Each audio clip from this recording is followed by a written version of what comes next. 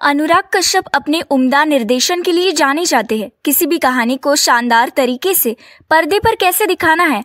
अनुराग कश्यप से बेहतर कौन जान सकता है? निर्देशन के अलावा वो सेट पर सितारों को कंफर्टेबल फील कराने में कोई कसर नहीं छोड़ते हैं। हाल ही में एक्ट्रेस अमृता सुभाष ने अनुराग संग काम करने का अनुभव साझा किया है। अमृता सुभाष ने अनुराग कश्यप के साथ सेक्रेट गेम्स टू में काम किया था। इस वेब शो में अमृता का एक इंटीमेट सीन था। अमृता ने बताया कि कैसे इस सीन को करने से पहले अनुराग ने उनसे उनकी पीरियड डेट पूछी थी। वे कहती है, मैंने अपना पहला intimate scene Sacred Games two में अनुराग कश्यप के साथ किया था।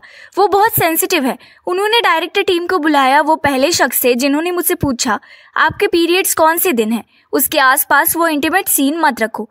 ये मर्द औरत के परे है। वो बहुत सेंसिटिव है। बता दें कि अनुराग कश्यप ने विक्रमादित्य मोटवानी के साथ मिलकर सेक्रेट गेम्स टू की शूटिंग की थी। हाल ही में अमृता सुभाष का web show Lust Stories two Netflix पर स्ट्रीम हो रहा है।